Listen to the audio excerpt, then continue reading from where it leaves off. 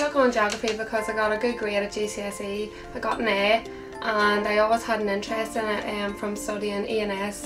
um, from first to third year and then after that I just decided right I really have an interest in this so I'm going to take it on further so that's why I took it on. I really like geography because it's so broad, you study so much. Um, there's two ends of it, there's a physical end and a human end